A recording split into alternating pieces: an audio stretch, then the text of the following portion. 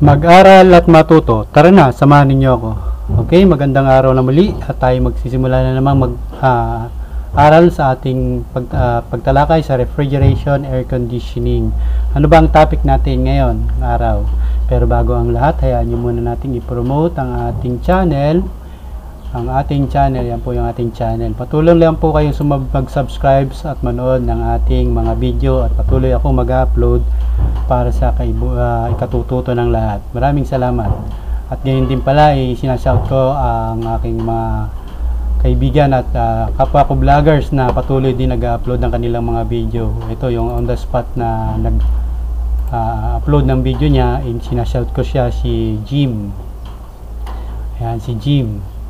Yan yung kanyang ah, YouTube channel, Jimboy Saga. Thank you sa pag-shoutout mo rin sa akin, Brother Jim. Okay, then ito pa yung ating isa pang subscriber, ah, isang ating uh, taga-suporta, vlogger din, si Social Work and Beyond. Siya yung ating isa pang ah, kapatid sa pananampalataya. Siya yung isa pang vloggers. Kung gusto niyo po rin yung kanyang channel. Okay?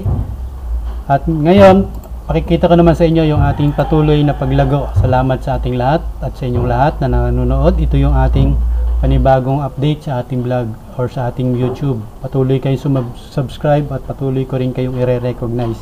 Kung napansin nyo, ang ating ah, views natin ngayon is 1,298 kumpara sa 1,000 plus lang nung nakaraang view, ah, videos natin. Pinakikita ko lang sa inyo na patuloy, ah, salamat sa inyong pagsuporta.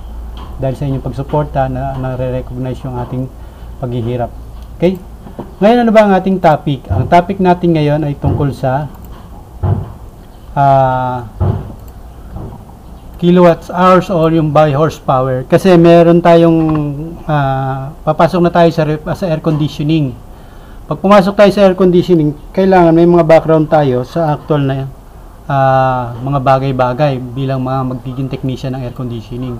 Okay ito kasi on the spot na ng mga customer lalo't alam na nag-aaral ka ng rep and aircon. Ah, unang-una ilang horsepower ba yung aircon na kailangan kong bilhin. Yung mga karaniwan tanong, pero papasok tayo dyan. Pero bago, pa, bago ang lahat, pakikita ko muna sa inyo yung isang example ng horsepower na nakarated sa nakarate dun sa isang aircon. Ito yung nakalagay na nakarating sa isang air conditioning. Air conditioning ng carrier na ang model niya is, ito yung model niya, 42 CVE SO S010-703T. 220 volts. Yan yung kanyang model number. Ma saan ba sir mahal? Bakit ba sir kailangan pang aralin yung model number? Tuturo ko sa inyo yan, napakahalaga niyan sa pagiging technician. Okay, ang uh, capacity daw niya is 2,000 or 2.50 kilowatts. Kung i-convert mo lang sa watts yan, dahil 1,000 yan, 2.5, 2,500 kilowatts yan, watts. Kasi kaya K means 1,000, 2.5 K uh, kilowatts is means 2,500 watts. Okay, yan yung ating tatalakayin ngayong araw. Okay, ito yung ating computation base sa ating kahit mag-search ka sa internet. Kaya nga pag may naglalagay ng horsepower sa isang refrigerator na vlog, kino-question ko bakit mo nalaman na ganun horsepower nun, meron ka bang ibigay na conclusion or uh, mark markings yung compressor kaya nalaman mo 1 1 half horsepower yun kung halimbawa sa rep. Kasi hindi mo yun kaagad-agad matitrace. Maliban sa explain mo kung bakit 1 half horsepower yun. Katulad halimbawa ito pinakita ko sa inyo, ayan, oh, nakalagay diyan 2,500 o 2.5 kilowatts. Masusukat ko na ba kaagad yung horsepower niya? Siyempre hindi. Karaniwan ng horsepower, makakakita ka lang ng markings ng horsepower sa motor. Naka uh, nakapangalan o naka, nakasulat sa motor kung ilang horsepower siya. Pero karaniwan ng refrigerator or air conditioning, hindi naka-specified kung ilang horsepower siya. Madalang na madalang. Meron ka siguro makita pero madalang yon nang lalagay ng horsepower sa body ng refrigerator. Then, paano mo raw masusuma o masusukat ang isang horsepower ng isang refrigerator or aircon? Ganito ang pagsukat niya. Kung mapaalala nyo yung mga previous video natin, kung nanonood ka talaga, sumusubaybay ka sa atin, nagbigay na rin ako ng tips sa inyo or mga kaalaman tungkol dito pero binipaki, pinakikita ko lang sa inyo kung ano itsura ng nasa labas na body ng air conditioning at mayroon ba akong basihan. Kasi binlog ko na rin ito or binidyohan ko na rin ito nung nakaraan, nakakaraan natin. Pero, kung conclusion mo ay mali, dapat itama mo. Ganun yung aking pananaw sa buhay or pananaw sa pagtuturo. Okay, halimbawa, ang 1 horsepower is equivalent to 0.7457 kilowatts. Kung mapansin nyo dati, nung itinuro ko 1 horsepower is equivalent to 745.7 watts. Watts kasi yon hindi kilowatts. Tandaan niya, kilowatts iba sa watts. Ibig sabihin 1,000 na ito. Kaya 0.745 kilowatts. Okay. Then, kung mapansin nyo, ang isang uh, kilowatts daw ay may equivalent ng ano 1.337 horsepower. Paano kaya nasukat yan? Tingnan niya natin. Kasi ang sabi riyan, ang kilowatts daw is uh, 1.337 horsepower. Tingnan niya natin kung makukuha natin yon kung i-multiply natin yung 0.7457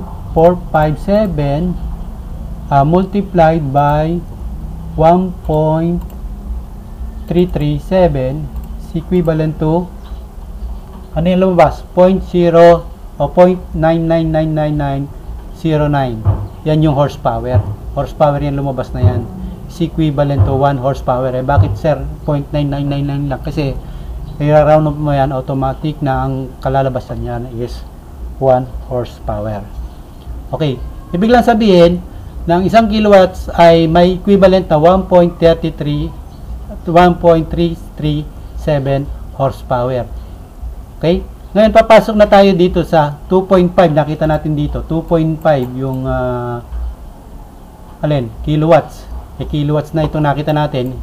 Kilowatts. Ibig sabihin, 2.5 kilowatts na, i-divide mo sa 1.337 horsepower. Ang equivalent na kalalabasan niyan is 1.869 horsepower. Diba? Nagets nyo ba? Ibig sabihin, itong palang air conditioning nito ay kung uh, babasihin mo itong computation na ito, ang horsepower ng isang aircon na ito ay 1.8 horsepower or 1.9 na kamo, kulang-kulang 2. Then, kung gagamitin mo naman ang formula ng 1 horsepower is equivalent to 745.7 watts, i-divide mo sa 745.7 watts, then, ang kalalabasan niyan is, ano, lalabas ka agad yan 10,000 yung 2.5 kilowatts 2,500 watts ang magiging uh, conversion yan and then magkakalabasan is 3.35 horsepower. Ang laki hindi ba? Kung dito lang tayo babase pero hindi dapat tingnan natin kung ano ba ang may katotohanan. Kasi minsan bilang technician ay alam ko 746 watts lang ang isang horsepower itong uh, capacity kilowatts niya is 2.5 o 2,500 i-divide ko na kaagad siya sa 745.7 kilowatts. Tutugma kaya sa horsepower? Yun ang magiging questionable doon. Kung wala kang exact computation kaagad at tinundas pa tinanong ka ng customer ilang horsepower ba yan? Eh baka sabihin mo 2 horsepower po yan. O 3.35 horsepower po yan divided 2,500 divided by 745.7 watts, 3.35 horsepower po yan. Ganun kaya ang computation. Siyempre, ma, hindi mo sure dahil, dahil ano, unang-una, yung 2,500 watts na nandyan sa isang air conditioning na yan, kasama na dyan lahat ng konsumo niya. Kasi nakita mo capacity, buo ng, buong electrical na niya. Ano yon Yung board, yung motor, dalawang fan motor, at saka yung iba pang mga electrical uh, supply niya. Kaya umabot siya ng 2.55 kilowatts. Kaya ibig sabihin, hindi mo siya pwede masukat ng 3.35. Didivide mo lang yung uh, kilowatt, uh, yung horsepower ng motor. Motor lang kasi ito. 7.45 watts. Karaniwan niya, sinusukat yan pag sa, uh, uh, nakaseparate yung motor. Yung wattage ng isang motor kaya, hindi ka pa pwede sa 3.35 horsepower yan. Eh sir, sa, dito sa 1.869 horsepower, papasok ba ako dyan? Hindi ka rin papasok dyan kasi kasama pa dyan yung mga ibang electrical na consumption or yung mga nagkukonsumo ng horsepower, ng uh, kilowatts. Katulad ng ano, yung sabi ko sa inyo kanina, yung fan motor, at iba pang mga equipment ng gumag kumukonsumo ng kuryente. Eh sir, ano ang tama? Siyempre, kung ang, ang ah, kung, ting- kung gusto mong malaman talaga ang tama, mag-research ka. Eh sir, on the spot yun eh. Kaya nga, kung manghuhula ka, hulaan mo ito or kung ah, hindi mo alam kung paano pagko-compute, nag-compute ka ng ganitong ah, formulation, kalahatiin mo lang siya. Ano yan? Kung 2 yan, gawin mo lang 1. May basihan ba? Ito, inaral ko rin kung may basihan ako. At nagtugma yung aking basihan. Halimbawa, katulad nito, yung air conditioning na carrier na may model na E 42CBES010703F. Sabi ko nga sa inyo, nagre-research din ako sa sa market kung meron bang ganyang ah, model. Kasi model number ang hanapin mo. Tatandaan nyo pagka maghanap kayo ng brand or brand tsaka kuan, model number ang hahanapin nyo. Katulad niyan, o yan ha. Nakalagay dito, carrier, crystal 1.0 horsepower. Ayan, lumabas na kagad kung ilang horsepower yan. Ibig sabihin, yung computation natin, 1.869. Ibig sabihin yung kalahati pala nun, pwedeng sa pan motor at saka sa ibang equipment or sa mga board niya. Kaya hindi mo pwede sabihin 1.8 horsepower kagad yung aircon na yan. Malibang sa talagang eh, hanapin mo sa internet kung anong model at anong horsepower. Ayan, sabi ng manufacturer, ang kanyang model, ang kanyang horsepower daw is 1.0 horsepower wall mounted split type standard inverter aircon model. Ayan, yung model niya. FP 4242 CE CBE CBE S0 ayan kuhang-kuha. Sakto-sakto yung ating ating ah, paghahanap. Kaya ibig sabihin pinakikita ko lang sa inyo na ang conclusion ko dito hindi mo nitakita mo yung capacity kilowatts ay yun na yung horsepower. Dapat mag-research ka din or magkaroon ka ng conclusion na yung ibang electrical na kinukonsumo ng ah, kilowatts na to ay kukuha konsumo pa doon yung board at saka yung pan motor na separate na dapat makuha mo lang na horsepower sa motor. Okay? Kaya mapansin mo, sabi ko nga sa inyo palagi, kung kailangan tama at kailangan ah, magpakita pa ng ibang ah, pamamaraan kung paano pagsusukat, eh dapat i-research mo or kung gusto mo matutoy talaga ng estudyante mo or mag, ma- tinuturuan mo, mag-research ka din, huwag puro conclusion. Ilagyan mo kagad yung motor mo ng 1 horse, 1 half horsepower na refrigerator. Lalo't vlogger ka, 1 horsepower ka, nilagay mo, may basihan ka ba? Wala ka naman basihan. Ipakita mo na may basihan ka. Katulad ako, nakita mo ito, 1.8 ang magiging ah, ang conclusion ko, pero mali pala yung conclusion ko. Hindi pala tama na 1.8 horsepower itong aircon na may 2.5 kilowatts hour, kundi 1 horsepower lang pala siya na dapat nating itama sa ating mga kaalaman. Hindi po pwede na basta nakita mo lang, conclude ka kagad. Okay? Kaya palagi yung tatandaan, kung mahilig kang mag-research, dapat maging tama. Kung mali man yung tinuturo mo at nagkaroon ka ng miss, pwede pa na i-correct. Hindi naman masamang mag-correct at tayo lang, tao lang naman tayo para magkamali sa ibang itinuturo. Ang importante lang may mag-comment at magtanong, then may correct natin yung ating sarili kung tayo nagkamali doon sa isang parte ng pag tinuturo natin. Pero yan, tatandaan ninyo, ano bang kahalagahan sir niyan sa pag-aaral ng refrigeration air conditioning? Napakahalaga niyan kasi kung hindi ka marunong mag-conclusion ng isang horsepower, hindi ka pwedeng technician. Kasi, ano? Anong kasi? Kasi sa test examination, may, may mga examination doon about horsepower. Okay?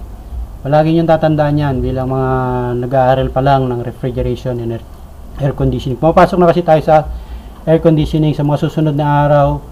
Puro piyesta naman tayo ng aircon. At patuloy kayong sumubaybay at mag-subscribe sa ating channel at i-hit nyo yung ating button, bell button para palagi kayong updated sa uh, once na pumasok ang ating video, mapapanood nyo kaagad. At sa mga bago, madatihan naman mga na nanonood ng ating vlog, Ah, kung ito ay hindi para sa inyo, sorry po, pwede nyo na ito i-skip. At kung may mga comment kayong gustong idagdag sa aking nasabi, at may kamalian ako, i-comment nyo lang. Hindi ko ituturing itong pambabas, kundi karagdagang kaalaman. Salamat sa inyo at sa mga tagapasubaybay ng ating channel. Ah, God bless you all. Thank you.